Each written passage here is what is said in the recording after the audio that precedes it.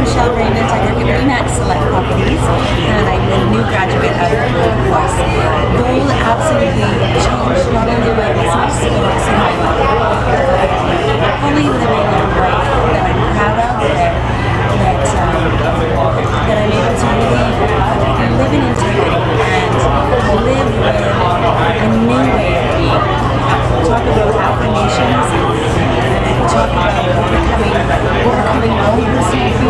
then you should watch them spikes.